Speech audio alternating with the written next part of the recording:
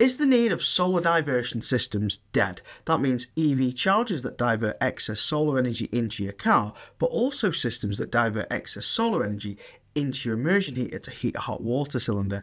Many years companies have been marketing these systems as a way of getting the most out of your solar system. Well, in modern installs, modern solar and battery installs, are these products completely pointless? And should they still be sold to people who have a modern system installed these days? Well, there's still some people who on previous systems will benefit from that, and we're going to be talking about that as well in this video. But mainly, we're going to be talking about the reasons why I think that these products are no longer needed. Now, there's two main arguments against solar diversion systems, but the one main point I have is that you can go on Octopus Intelligent. In fact, one of the companies that markets heavy about charging your car off your sunshine actually promote that they can do that, but they can also be on Octopus Intelligent. Octopus Intelligent means that you can charge your car at 7.5p off peak with energy, but you get paid 15p for export. Now, during the 7.5p, you can charge your car.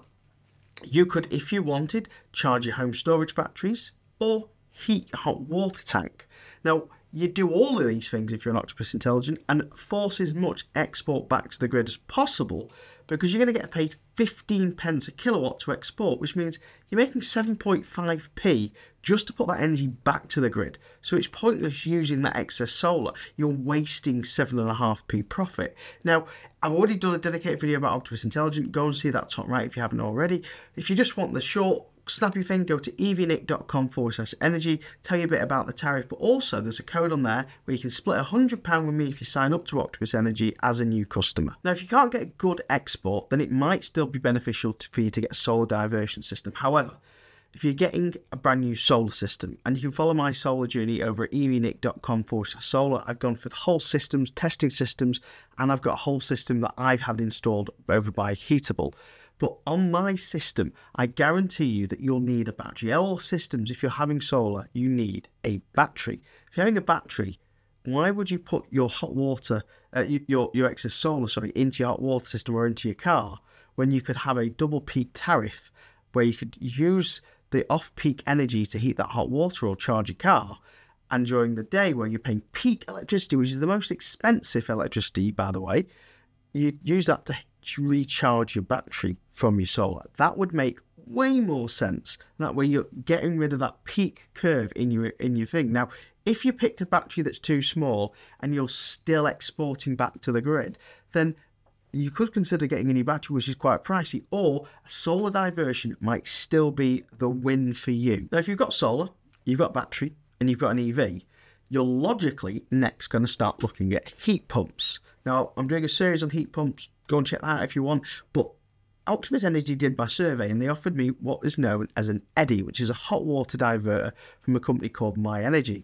Now, I had a bit of an argument with Octopus, um, kind of, well, not an argument, we, we kind of had a disagreement that I don't think they should be offering eddi to customers who are getting heat pumps when they've got storage batteries and they know they've got storage batteries because at best, that immersion heater run off your solar is going to be 100% efficient, which means at absolute best, you're going to not send it back to the grid, but it's going to heat your hot water tank at 100% efficiency. And why is this a bad idea? Well, you might as well charge your battery instead, and then later on, run your heat pump to heat your hot water. Because your heat pump might only be 200% efficient, but it's better than that 100% efficiency. And it makes more sense to run the heat pump to heat the water than the immersion heater, especially if you've got a battery, because you can set the timer on the on the heat pump to work when the battery is more likely to be full or when uh, the, the solar, it might actually export back to the grid because your battery might be full. You can time all this in with your heat pump to work side by side with your solar,